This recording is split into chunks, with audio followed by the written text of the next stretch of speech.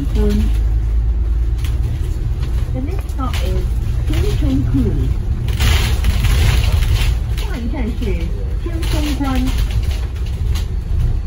请感应紧勺。Please hold the handrail. 请紧握扶手。